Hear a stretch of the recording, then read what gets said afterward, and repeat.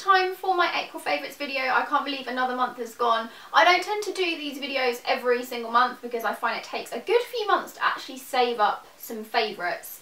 If I did it every month, they would be pretty short and sweet. But I've got a good selection here in front of me, so I'm just going to dive straight in and start off with my first monthly favourite. So first up, I'm going to go with skincare, and my first product is the Elizabeth Arden 8 Hour Cream Intensive Moisturising Hand Treatment. Oh my god, is this stuff good.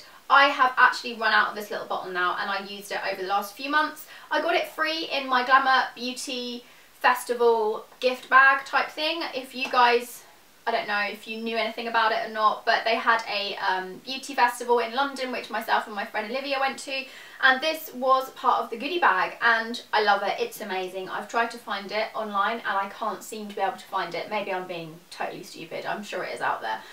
But I will need to repurchase this because it is the first hand cream I've ever tried that actually it kind of works and it doesn't leave my hands feeling horrible and greasy. So very impressed with that, very happy and I love it.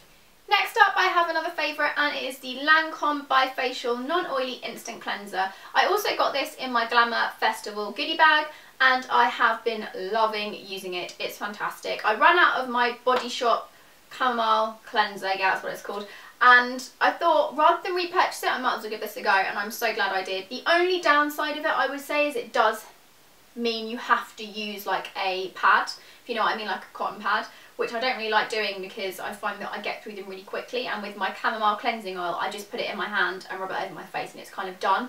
So it's a little bit more labour intensive but it really works and it's a really lovely product and it does have oil in it too so it, kind of says it's not oily. It, it is a little bit oily but not in a really horrible way. It doesn't leave your skin feeling oily and I do quite like oil based cleansers so really been loving this. We'll probably be repurchasing blah, blah, blah, blah, blah, We'll probably be repurchasing this alongside my chamomile cleansing oil too because it's always good to have two options out there. So moving away from skincare and onto makeup, I have two makeup items here which I have been loving for the last sort of couple of months. The first one is the Laura Mercier powder and it is the loose setting powder in translucent. I bought this on recommendation of my friend Olivia it's lovely, it's so finely milled that you can barely notice it's on your face. I don't find it to be that illuminizing, I'm going to be honest, but it does set really nicely and it doesn't leave you with that horrible cakey face feeling which I absolutely hate. Some powders do tend to really highlight like the hair on your face if you know what I mean or any kind of bumps and stuff but this really doesn't. When you first apply it it is quite powdery but it does sink into the skin really nicely and sink into your foundation. So I have been loving this. The only qualm I have with it, can't believe I just used the word qualm, I haven't used that in forever, is the fact that all of the powder comes out. I can't tip it upside down really. The powder comes out of the little holes and you're left with a massive amount of powder in the top part of it, which I find quite annoying. It could just be because I have it in my handbag and obviously it's kind of rolling around in there and it probably um, kind of encourages it to sort of go into the top part of the pot. But other than that, I mean, that's a really small, tiny little gripe. I do love it and I really enjoyed using it. My second makeup favourite for April is the MAC Soft and Gentle Mineralized Skin Finish Highlighter. This stuff is so good. Ah, it's like my dream highlighter right there. I wanted something pretty intense because I, I mean, let's be honest, we all like an intense highlighter. And I also wanted something that was kind of goldeny, bronzy, not too pearlescent and pinky. This is just perfect. It's beautiful. It's the perfect highlighter. I'm so in love with it and I wear it every day. So moving on to perfumes, I have two perfumes which I have been obsessed with over the last kind of month, month and a half. The first one is, ooh, look, the lid has totally fallen off there. The first one is Rosie Huntington Whiteley's perfume for Marks & Spencer and their autograph collection. I cannot for the life of me remember what this one is. Oh, hang on.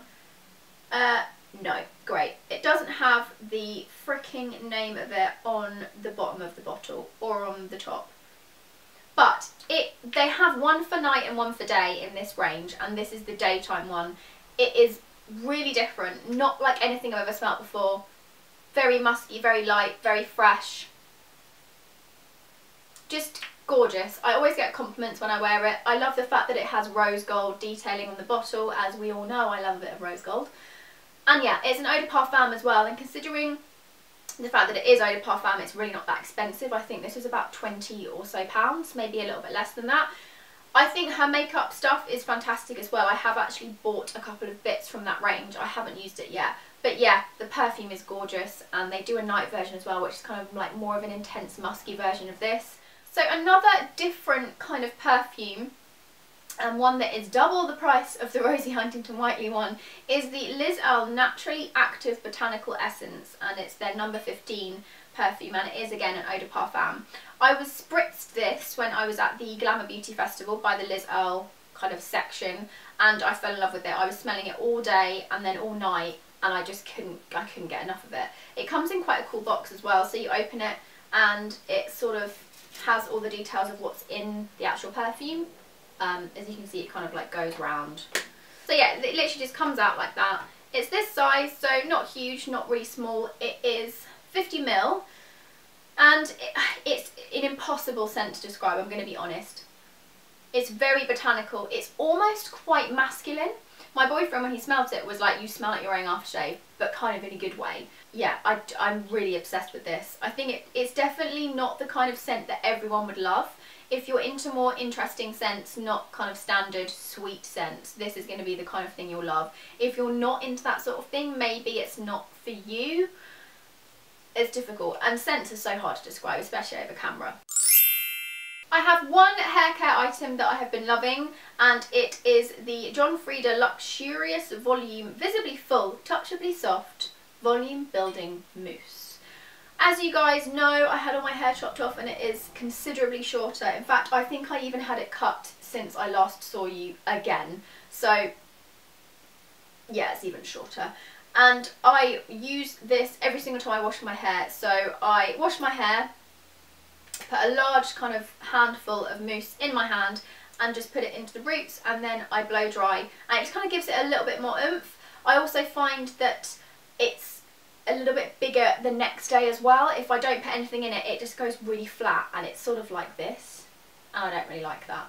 So with the mousse in it, it definitely gives it a little bit more zhuzh. And it means when I run my fingers through my hair to zhuzh it up a bit, it actually stays. So my last two items are more fashion accessory items. The first one are these Miu Miu. I don't know if that's how you pronounce it. Miu Miu. Yeah, it must be. It has to be sunglasses. Now I did feature these on my sunglasses collection video which I will link in the description box below so you can have a look at it. It's not a very long video so it won't take up too much of your time if you give it a little watch. And it's kind of fun, you know, like a fun lookbook type thing. But yeah, these guys are insane. They are insane as you can see. Glittery and pink and beautiful. Now these, I cannot remember the style name. I will link it in the description box below. But I think Claire Marshall has a couple of pairs. They do them in loads of different colours, like blue, purple, pink.